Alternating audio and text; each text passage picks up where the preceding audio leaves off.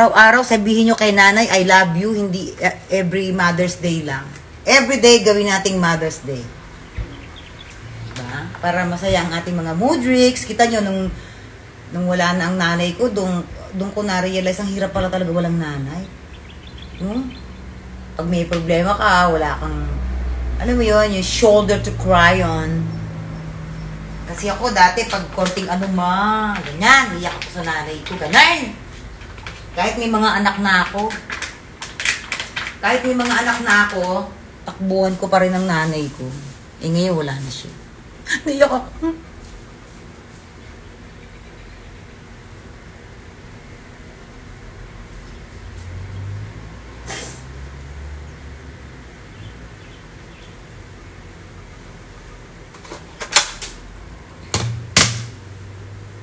Sorry. Sorry, na-miss ko lang nanay ko.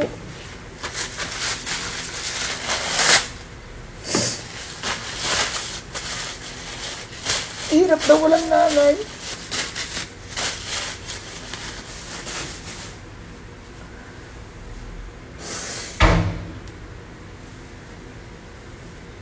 Araw-araw, sabi niyo sa nanay niyo, I love you. Araw-araw, yakapin niyo sila. Hindi tuwing Mother's Day lang. Namimiss ko nanay ko.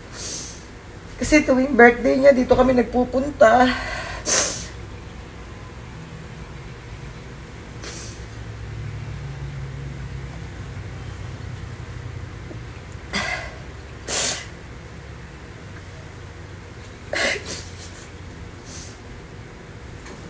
Di ba?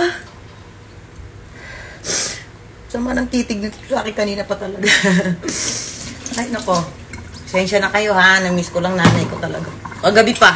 Kagabi ko pa siya iniisip. Yung makatulog. Kasi nga magma-Mother's Day yun. Hmm? Ay, nako.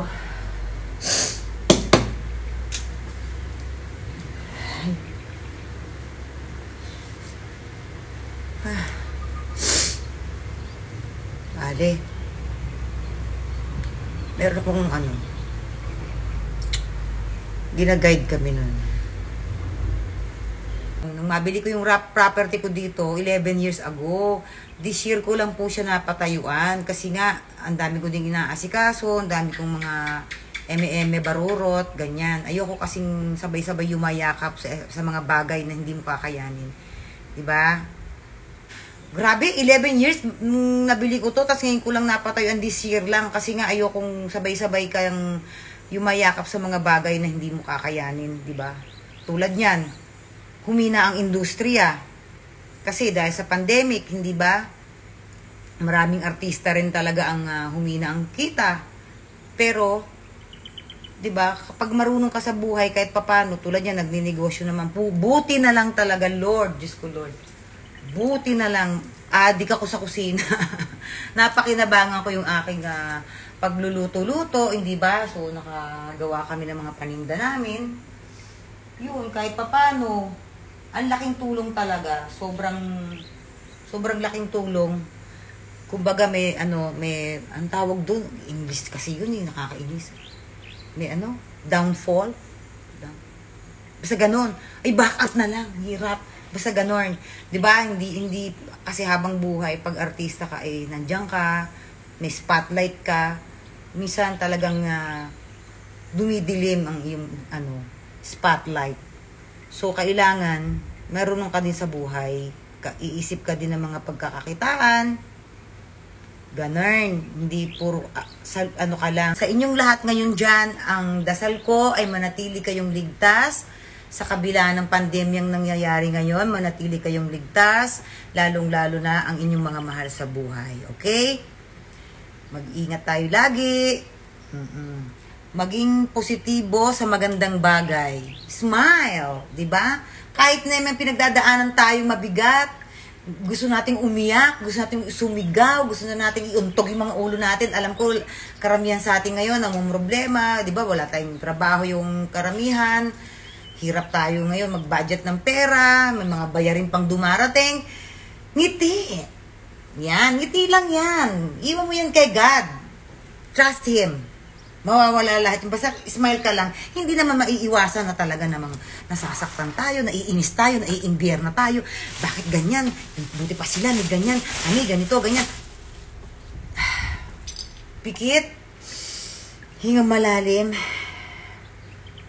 God, salamat po at nadilat na naman ang mata ko sa umagang ito. Isang napakalaking biyaya. Yon, ganon. Yung mga iba ko pong pinagdadaanan, God, ilalagay ko na lang po sa inyong mga kamay. Lalong-lalo na importante kaligtasan ng ating mga mahal sa buhay. Dahil sila naman talaga ang dahilan kung bakit tayo lumalaban. Di ba? Oh. Kahit ano pang dami mong pera, kahit ang dami mong kayamanan, kung lahat naman ng mahal mo sa buhay ay magkakaproblema ka, magkakasakit sila, baliwala din yan. Di ba, Kaiben? Di ba? Ang lahat ng bagay sa mundo na meron tayo, lahat yan ay hiram lang. No? Darating ang araw, hihingiin, babawiin din sa atin yan. So, kung ano yung meron tayo ngayon, kung ano yung wala sa atin, ipagpasalamat pa rin natin kay God. Ang importante, tayo ay nabubuhay ng marangal, wala tayong inaapakang tao, wala tayong uh, uh, inaapi. Di ba? O, sino ba namang hindi talagang maaawa lalong-lalo na doon talaga sa, sa mga kababayan natin na walang-wala talaga. Kaya dapat kung nakakaluwag-luwag tayo, alam mo, yung kahit papano, tulong tayo, tapos magpasalamat tayo, hindi ba? Magpasalamat tayo kay God na, alam mo yon yung tayo maging selfish, maging matuwa, maging makontento, maging mapag-share, di ba? Kagaya nga ng sinabi ko, ang lahat ng meron tayo ay hindi habang buhay na sa atin. Hindi natin madadala sa langit. Kung, diba? Kung saan man tayo, hindi natin maaano yan. So, maganda yung nag-iiwan ka ng ano sa mga tao, magandang tatak sa kanila. Pag nabanggit yung pangalan mo, ah, oo. Hindi yung pag nabanggit yung pangalan ay, nice, ganyan, kulit. Diba? Ganda yung kahit hindi ka naman mayaman, kahit hindi ka naman bilyonaryo, at least pag na may maiwan ka magandang alaala sa mga tao, hindi yung sama ng loob ang maririnig nila. Panood nyo ba ang buong balitang ito? At nais nyo bang makapanood ng bagong balita araw-araw tungkol sa nangyayari sa ating bansa?